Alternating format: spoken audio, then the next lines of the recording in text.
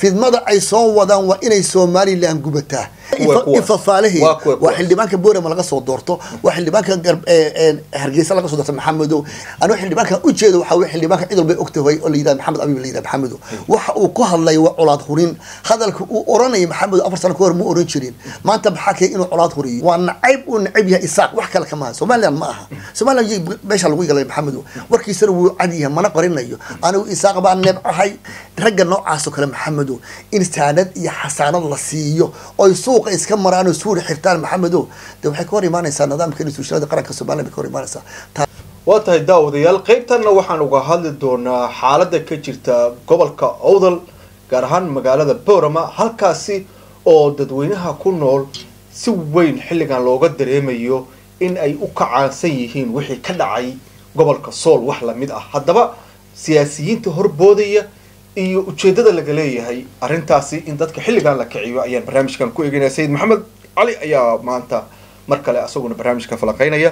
Sayid maxamed soo dhawow ah, waa maaqsanta maxamed waa dhowahay aad baan kaaga mahadnaqaya soo dhaweyn sayid maxamed maxaa ka socda boorama maxamedow waxyaabaha boorama ka socda waxaa weeyaan oo ay sansaanka ay ka turjumayeen waa sansaankii laascaanood kale maxamedow iyo sidii laascaanood lagu soo galay haddii aan dib ugu noqdo saacadihii u dambeeyey maalmihii u dambeeyey ilaa shalay ilaa daraad sawaxan fara badan ayaa social media iyo mediaha meel walba laga maqlayay taasoo ah boorama iyo waxa ka dhacay iyo boorama iyo waxa ku cusub.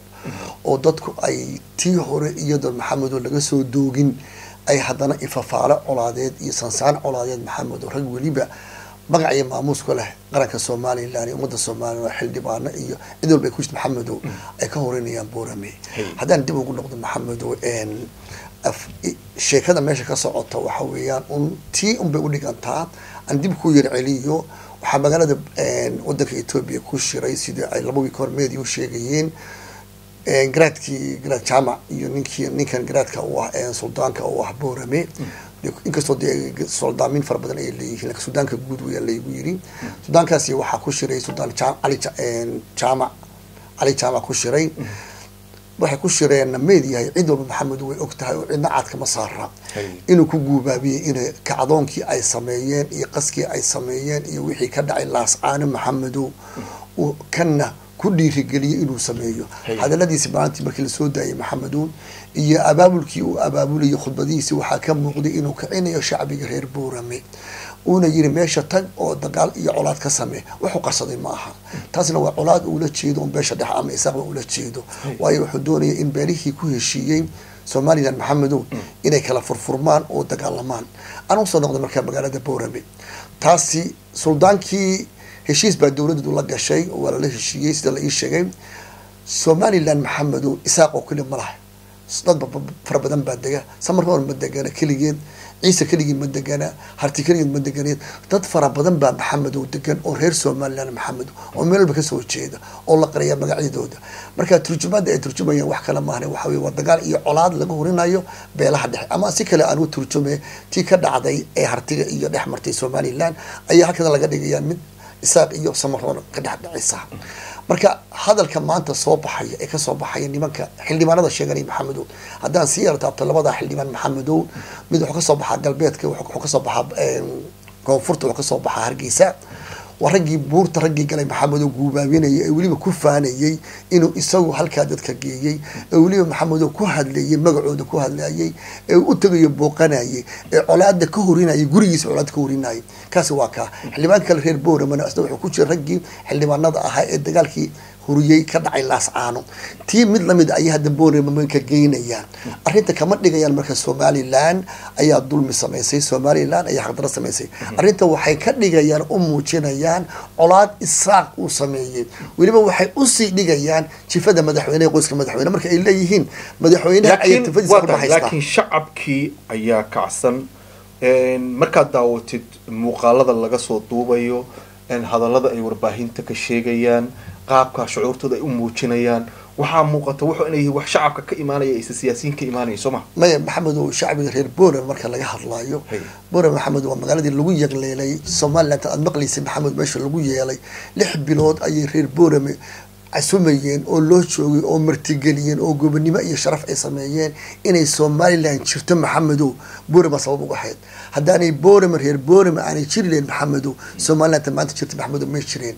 Taas waa shacbiga reer boorame iyo ragga salaadiinta cuqaasha ah. Siyaasiyiintii maxamedow way kala duwan yihiin dadka caadiga ah. Reer boorame maxamedow somalilan dhabarteeda weeye hadday reer boorama somalilan ka baxaan somalilan maba jiraysaba taas marka waa xagga shacbiga. Siyaasiyiinta maxamedo colaada horinaya ujeedo kale qasdigalka ma leh. Marka laga reebo profesorka laga reebo. Colaada ay qasdiga ka leeyihiin waxaa weeye colaad ay muuse biixi iyo dowladdiisa u qabaan wey wax kale maaha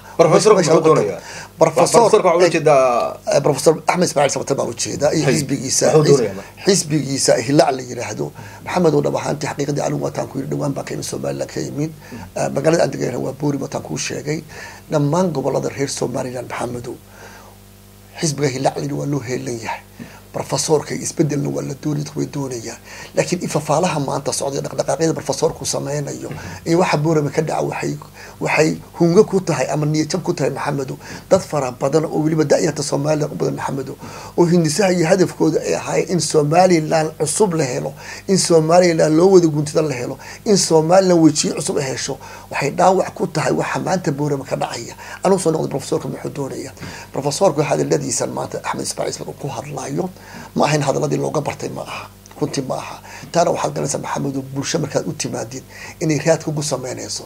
Waa nin aqoon-yahana waa nin somalilan tacab fara badan iyo hanti fara badan somalilan kaga jirto. Waa nin mustaqbalka somalilan doonayo. Taas ani shakiyga ma jiro.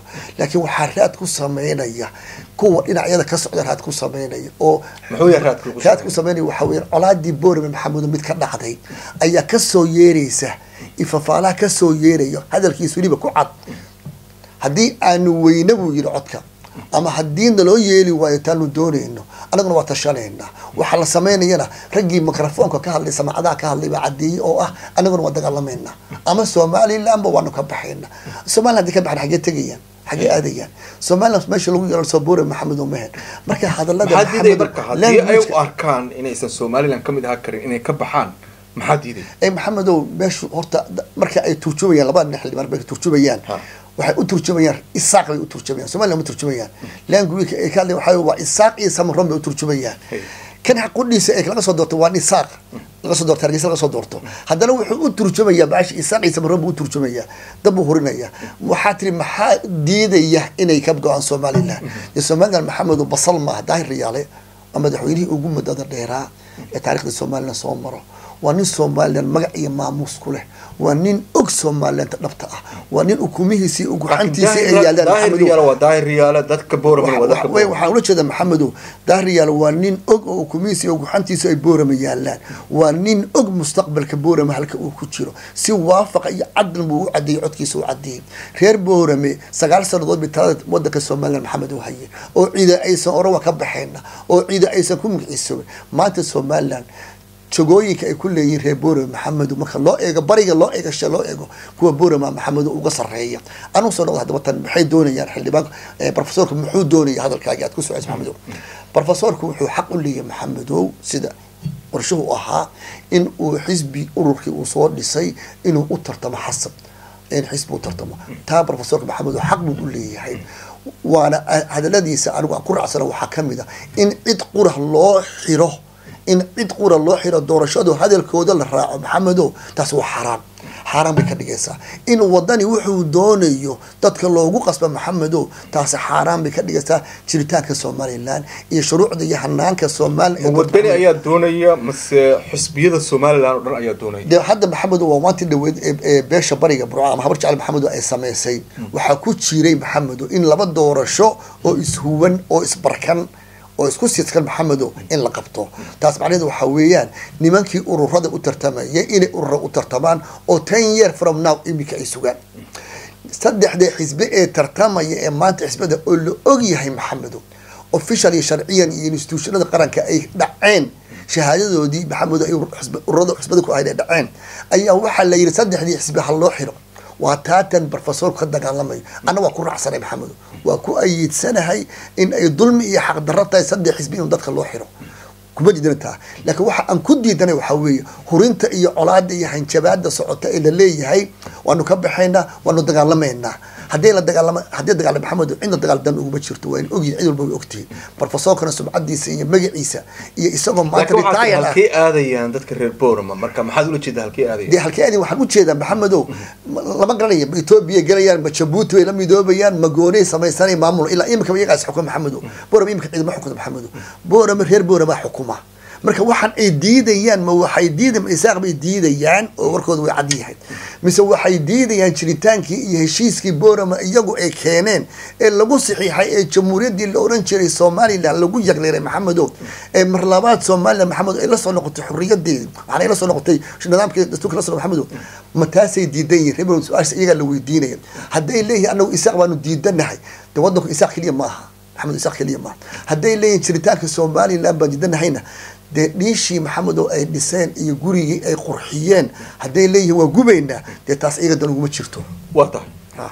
cabsida jirta ee ah wixii ka dhacay laasacaanood inay boorama ka dhacaan ama awdal ay ka dhacaan ma kuu muuqata? Adiga ha aad bay maxamed igu muuqataa waana tan aan mar walba maxamed wadnaha farta kaga hayo. Somalilan maxamedow waa tan hore kuu sheegay institutionadeeda nidaamkeeda sharciga maxamedow ee kala dambeynta waday maxamedow iyo sharciyadii maxamedow waxaad moodaa inaysan sidii rasmiga u shaqeynin waa tahay sidee looga hortagi karaa sidee looga hortagi karaa marka taa inay dhacdo maxamed taas? taa maxamedow waxaan ula jeedaa. Nin somalilan jiritaankeedii maxamedow diidan. Nin dagaal iyo maxamedow colaad hurinayo oo la ogyahay inuu colaad iyo dagaal hurinayo maxamedow nin soo socda oo la ogyahay inuu dagaal gala dagaalka isna leeyahay maxamedow oo aanay dowladda somalilan iyo nabasugidda somalilan iyo mukhaabaraadka somalilan maxamedow dan iyo muraatoona ka lahayn. Haddii aanay dowladda somalilan maxamedow ka horteginin oo aanay tallaabo sharciga waafaqsan xaqa raacsan waa maxay tahay ninka fidmo wada maxamedow waa laga hortagaa. Fidmaa la wadaa. Fidmada waxaa looga hortegaya wadankan ingiriiska maxamed aan ku yara xasuusinaya nin xisbiga conservativeka maxamed oo ku jira oo la yaqaano sidii john galloway ninkii loo jira maxamedo berigii dagaalka ciraaqba looga saaray ayaa maalintii dhaweed wuxuu yidhi cease fire clear hadda waa xabad joojin in lagu sameeyo daanta Ga- gaasa ayuu wuxuu yidhi codkiisa ku daray magaciga raaciya.